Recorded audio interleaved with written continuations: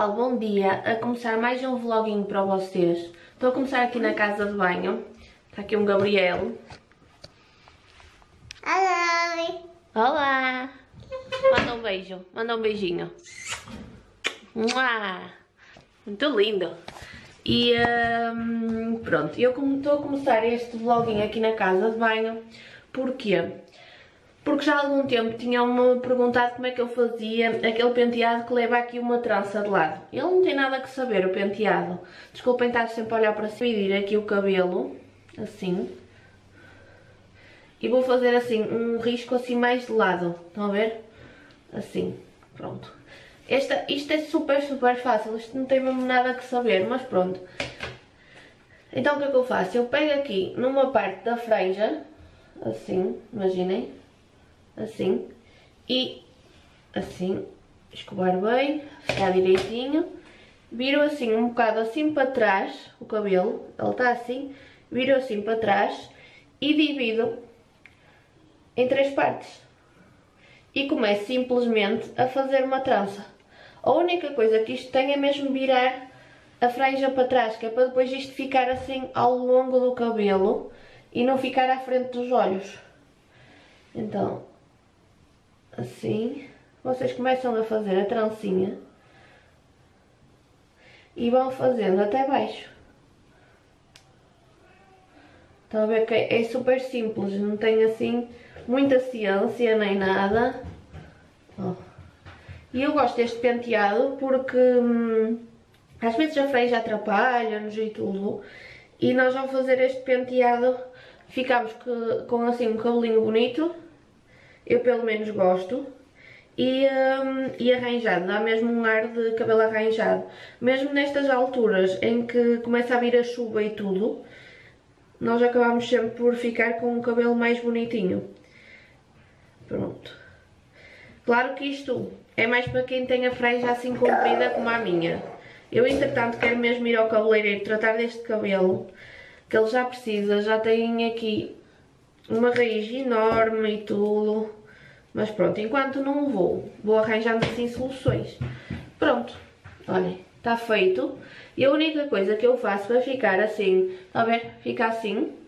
E a única coisa que eu faço é abrir um bocadinho a trança para ela ficar mais assim, melhorzinha, assim, mais aberta, mais bonitinha.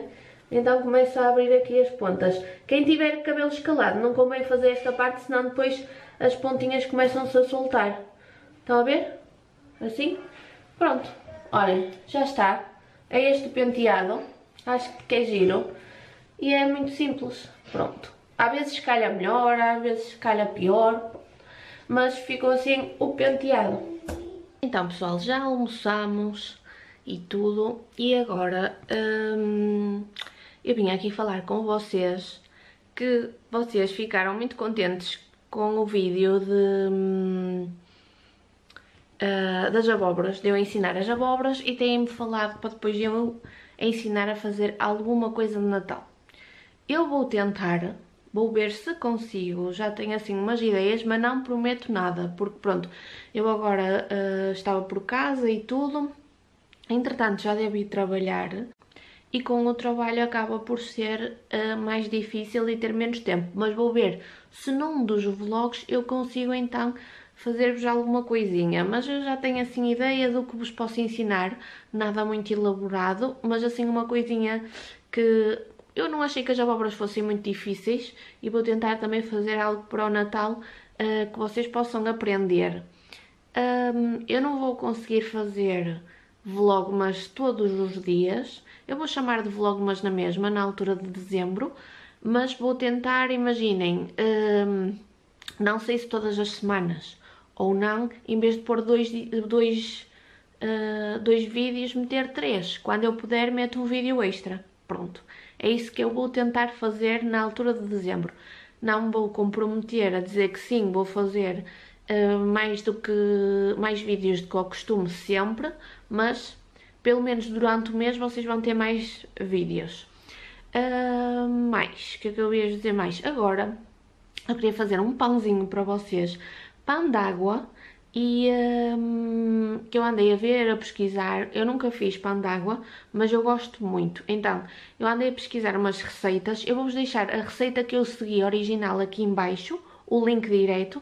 Eu gosto sempre de deixar o link da receita que segui para vocês se quiserem ir lá espreitar, porque a receita não é minha, não é? E, uh, e, pronto, vou ver, vou então, vamos então para a cozinha agora, mas antes de que isso quero-vos mostrar uma coisinha. No último vídeo vocês viram eu organizar o louceiro, mas aqui nesta secção que eu achei mais natalícia, eu meti este frasquinho que eu já tinha, que por acaso também foi a minha tia que me deu, a minha tia Zeza, que também me tinha dado estas taças. Eu tinha as taças aqui em cima, mas coloquei este frasquinho, assim, que vai ficar muito bem quando eu fizer umas bolachinhas ou isso, com este viado, e acho que ficou gira esta prateleira. Pronto, ficou assim. Ali falta o, uh, o coisinho do chá, que eu tive a beber um chazinho, e aqui faltam os pratinhos que eu também usei, que estão para lavar. Mas pronto, acho que esta prateleira assim mais natalícia com o veado, acho que ficou giro. Pronto, agora vamos para a cozinha, que é para ensinar a fazer o pão. Bem, já tenho aqui a mesa limpinha, que é para depois eu poder amassar aqui o pãozinho, está bem aqui esterilizada e tudo. Aqui a mesinha da cozinha, que é onde eu vou amassar depois. Aqui também já tenho os ingredientes preparados e mudança de planos. Eu ia fazer a minha batedeira, mas correu mal. correu mal porque eu hum, ia fazer na minha batedeira e eu não sei, eu só, só encontro hum, aquilo das varas de colocar, sabem? E não encontro o gancho de fazer o pão. Não encontro outro que é assim hum, mais oval também, que também dava. Eu não sei o que fiz aquilo. Eu, olha, deve estar tão bem arrumado que eu não encontro. Pronto, e eu já fiquei lixadas que eu já era para estar há uma hora a fazer o pão e não estou. São neste momento 4 e 10 eu vou fazer o pão agora, mas pronto, também não há problema. Então, eu vou fazer na mesma aqui. Vocês se não tiverem máquina do pão, façam na batedeira, façam à mão. É só seguirem os passos. Claro que, em vez de... Aqui o que tem de bom é que amassa sozinho e depois leveda sozinho. Na, na batedeira, aquilo... Hum, a massa, não é? E depois vocês podem meter no forno um bocadinho pré-aquecido a 50 graus ou assim, desligam o forno e colocam lá porque o tempo já não está assim tão quente para levedar. Pronto, no meu caso eu vou usar um, o sistema que é o 11, que é de amassar e levedar, demora uma hora e meia a fazer essas duas coisas. E pronto, e está pronto o meu pãozinho para depois colocar no forno. Mas eu vou-vos mostrar o passo a passo. Para os nossos ingredientes, o que é que nós vamos precisar? 400 gramas de água, 500 gramas de farinha sem fermento tipo 65, tenho aqui duas saquetas de fermento de padeiro, Neste caso, na receita que eu vi, eles usam 20 gramas, eu vou usar 14, acho que chega. 20 gramas de açúcar e 10 gramas de sal fino. Pronto, são estes os nossos ingredientes, muito fácil. E eu vou agora seguir os passos exatamente como na receita. Primeiro, nós vamos colocar a água e vamos colocar o nosso fermento. Então, vou colocar as duas saquetas aproveitar tudo muito bem, sacudir as duas saquetas. E como diz na receita, vamos misturar tudo muito bem. Então eu vou usar este coisinho assim de varas, não é? E vou tentar misturar aqui isto tudo muito bem. Claro que se vocês uh, tiverem numa bacia é muito mais fácil. Vamos só misturar.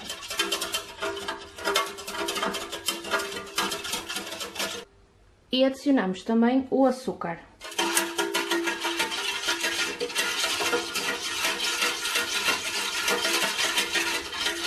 Na nossa farinha vamos adicionar então o sal. E vamos misturar assim tudo muito bem a nossa farinha com o sal.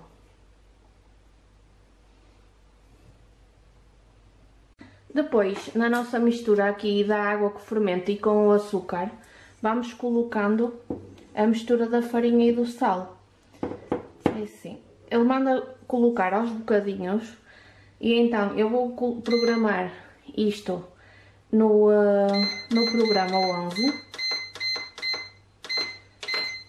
e ele já está a começar.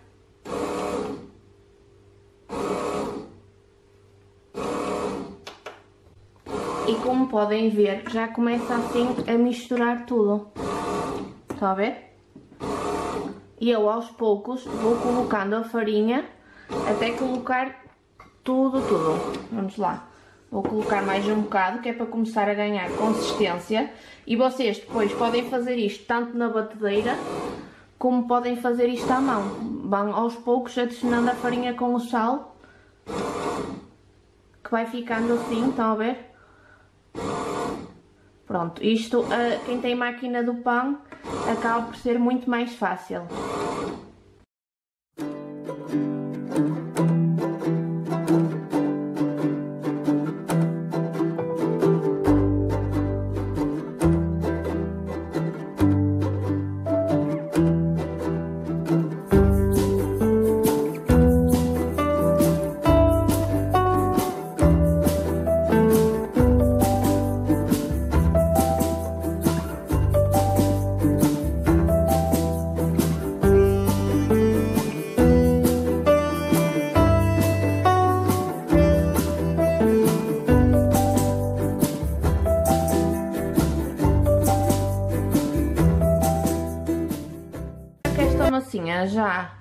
Dobrou de tamanho, dobrou ou triplicou, estão a ver?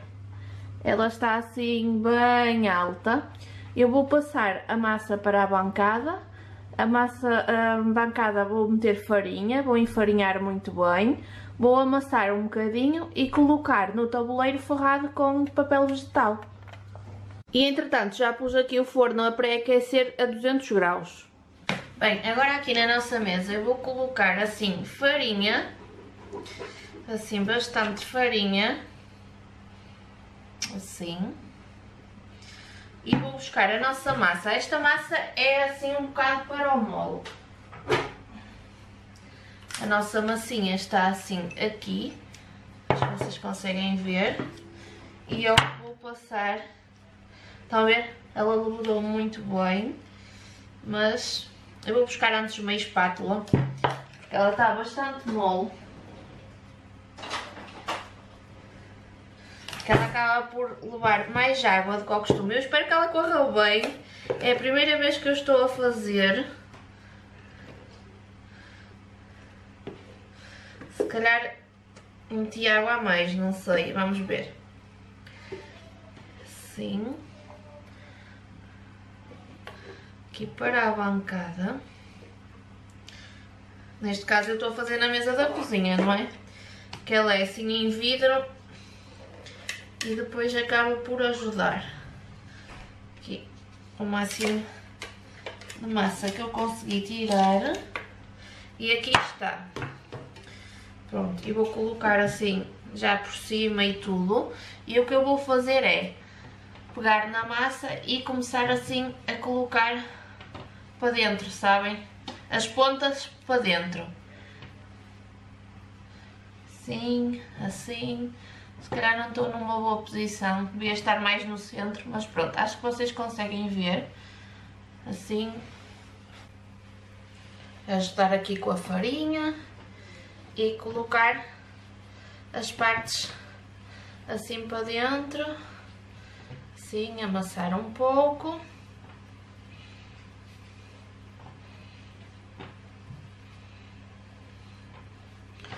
Sim, que é para ela despegar muito bem aqui com a farinha. Vamos continuar assim a amassar. Ela já começa a, a não colar tanto, ó. Assim nas mãos, portanto...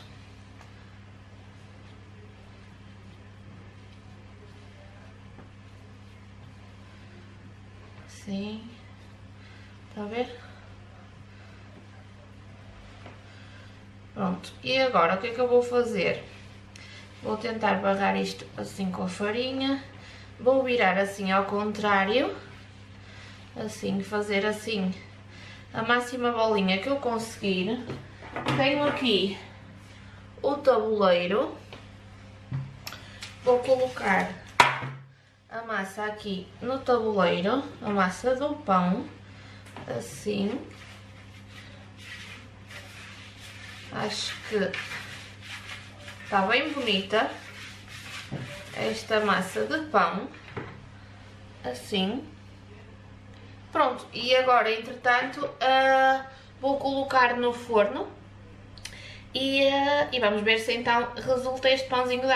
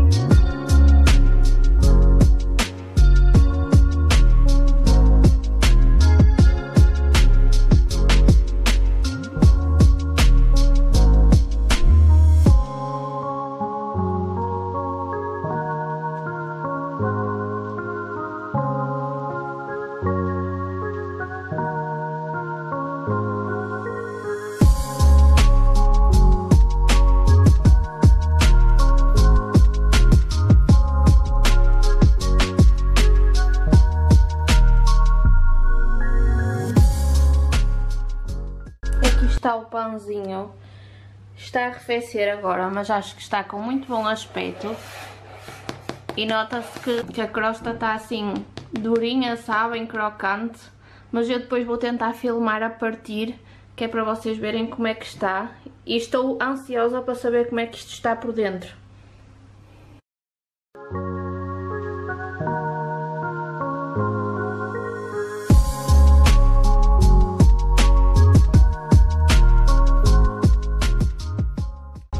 Usar a minha faca personalizada que diz Vera, que me foi enviada. E vou então cortar o pãozinho. Olhem só a crocância desta, desta crosta do pão.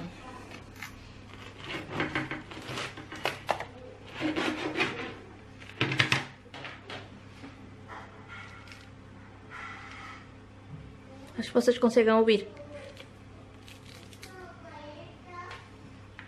Ele está muito quentinho. Eu vou fatiar. Isto não é fácil porque ele ainda está um bocado quente. Só que nós já é tarde e nós queremos beber o chazinho com o pão. O chá já está prontinho. Acho que nesta fatia vocês já conseguem ver melhor. Estão a ver? Olha, que fofinho d'água.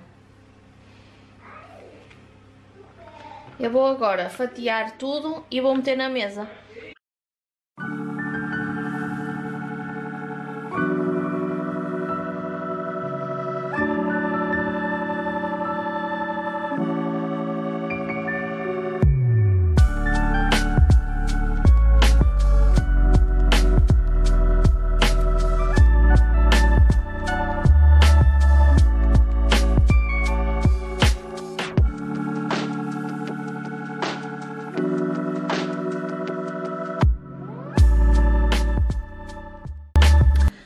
Dia pessoal, dia seguinte vou agora a uma consultinha, a consulta dos 15 dias, amanhã faço 15 dias que fui operada e então pronto, tinha que vestir assim uma roupinha prática, então vesti este vestidinho, assim, este casaquinho que eu cheguei a comprar com as pérolas, então meti as pérolazinhas também no, no cabelo e ficou assim o lookzinho, o que é que vocês acham? Eu gostei bastante, acho que fica bem e não está assim tanto frio que eu não possa estar assim vestida. Pronto, vou agora à consultinha, depois se calhar vou ver se passo na, na loja dos tecidos. Vocês têm pedido para fazer coisinhas de Natal e eu depois se calhar vou ver se já andei a ver o que posso vos ensinar num vídeo. Então pessoal, já estou aqui no carrinho, já fui à consultinha, correu tudo muito bem, a minha recuperação está a correr bem vou ficar mais dias uh, em casa, não é? Ainda, amanhã ainda faz 15 dias que eu fui operada. Um, pronto, olha, já arranjei aqui um suporte aqui para, para o meu telemóvel para poder filmar. Até acho que está bem fixe porque consigo filmar bem eu aqui a falar. Um, olhem, já que saí, aproveitei saí, fui também à lojinha de, dos tecidos, é a loja dos tecidos aqui da Póvoa de Varzim, Rua da Junqueira, a Cristina, um, eu fui lá buscar uns tecidos de Natal, porque vocês têm-me falado, têm-me pedido muito para eu fazer, já que fiz as abóboras e já que sei fazer assim trabalhos manuais, para vos ensinar a fazer algo para o Natal. Pronto, eu vou ver se depois então eu, uh, eu faço e já arranjei o tecido ideal. Outra coisa, também comprei uns tecidos porque, ou quem me sugerisse aqui, eu peço desculpa mas eu não me lembro do nome, mas manda um beijinho grande, sugeriram-me o canal da Susana Lopes. A Susana, olhem, adorei a Susana. Uh, eu não a conheço, não é? Mas estou a adorar o canal dela. Agora, este tempo que eu estou em casa uh, e que tipo de repouso, estou a passar o canal dela a pente fino, porque uh, se vocês não seguem a Susana, sigam. Ela não me pediu para fazer isto, ela não me conhece de lado nenhum, nem sabe que eu existo sequer, quase certeza, mas eu estou a adorar os vídeos dela. Uh, portanto, eu não acho que os outros youtubers sejam concorrência ou não, eu acho que somos é assim uma equipa de youtubers portuguesas e eu adoro, olhem. Uh, acho que a Susana é muito fixe, tem. Uh, dá dicas muito boas, tanto para cozinhados, também tem trabalhos manuais e, um, e para além dos trabalhos manuais, ela, um, ela faz muitos cozinhados e tudo, pronto. Ela ensina a fazer muitas coisas.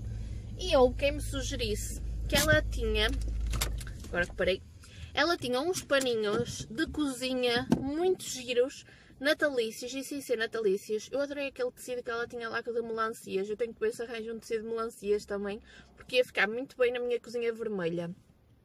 Mas eu comprei uns tecidinhos também uh, natalícios para poder fazer uns, uns panos de cozinha uh, com os motivos de Natal para depois pendurar no, no forno. Acho que vai ficar muito, muito giro.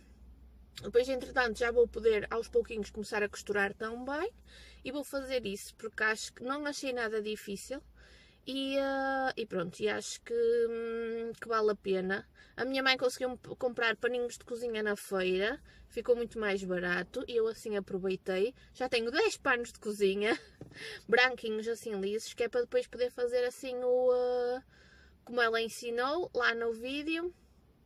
E eu posso deixar-vos aqui em baixo o link uh, para esse vídeo dos panos. Ela, ela tem em duas partes. Eu deixo-vos a primeira parte, depois vocês no canal dela procuram o resto. Pessoal, já estou em casa. Venho agora vos mostrar o que é que eu comprei na Feira dos Tecidos. Eu tenho aqui cada tecido mais lindo. E tenho aqui os paninhos de cozinha, que posso começar já por vos mostrar.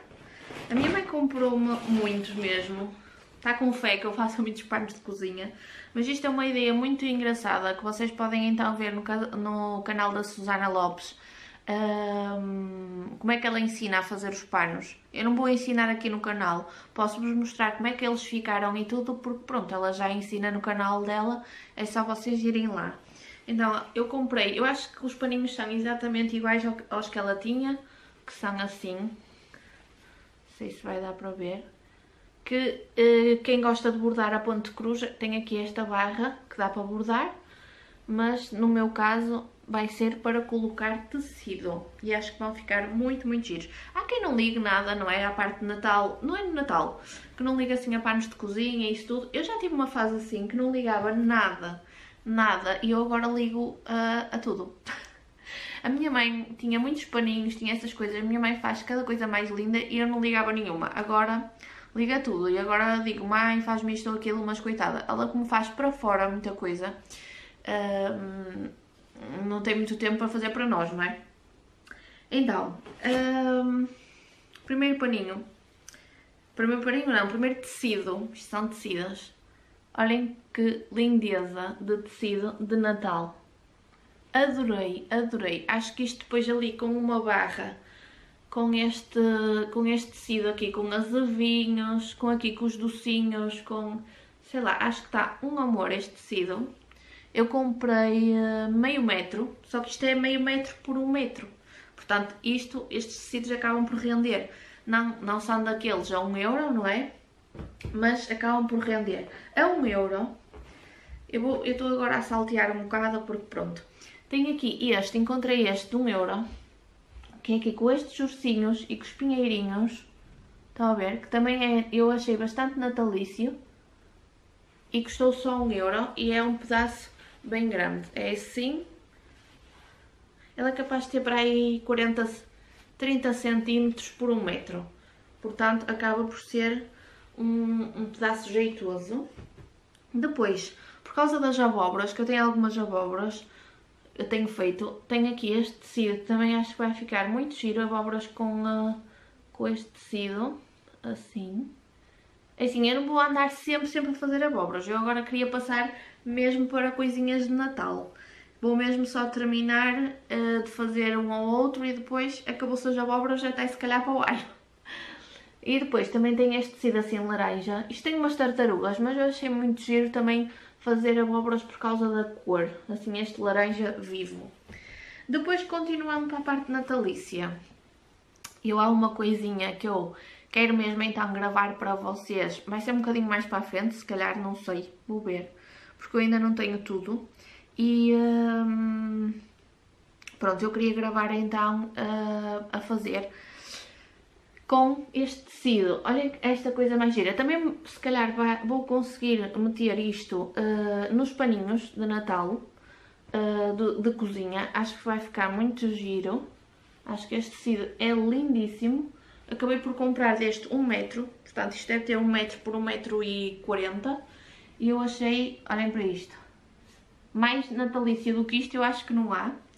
Por isso compensa muito. Depois, para contrastar, eu comprei para fazer uma barrinha por baixo. Vocês se forem ao, ao, canal da Susana vão perceber como são feitos os panos.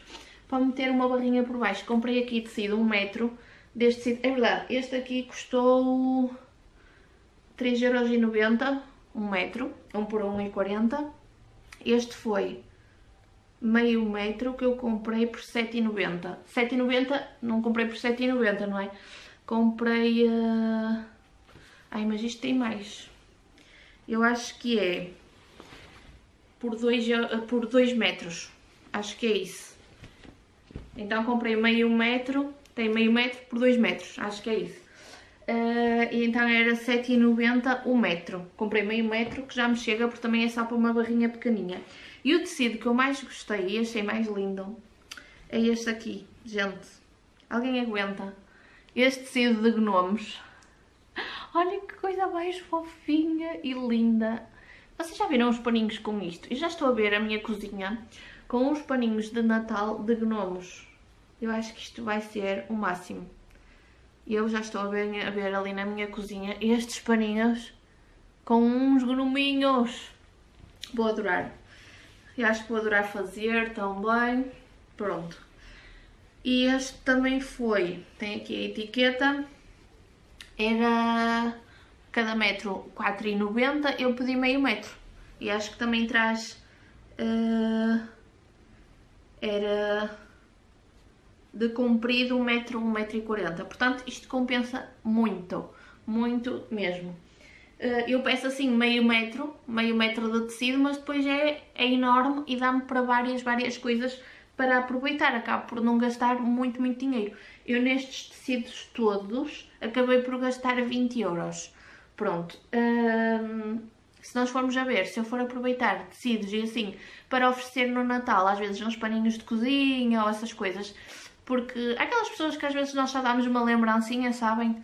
Compensam muito, não é? 20 euros a dividir por não sei quantas pessoas um, e porque eu também quero fazer uma coisinha de Natal com isto e vai, vai para a minha decoração de Natal, é para vos ensinar e é para a minha decoração de Natal, compensa muito. Um, ah, outra coisa que eu comprei, que é para os paninhos, foi esta, estas tirinhas que é para meter a meio e em verde também, em branco e em verde. Este foi 3,75, este rolo enorme, traz muitos metros e este branquinho, pronto.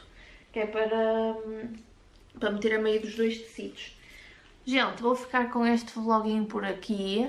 Foi assim, olhem, hoje saí, sinto-me assim mais revitalizada. Não é que eu não, posso, que eu não possa sair, mas também, olhem, está tempo de chuva e tudo. Mas aproveitei que fui à consulta e tudo e, uh, e andei assim, pronto, fui, fui no instante buscar os tecidos e essas coisas. E, uh, e é isso, vou ficar com este vlog por aqui. Obrigada por assistirem, por todos os comentários, por todo o carinho. Um beijinho muito grande e até à próxima. Tchau!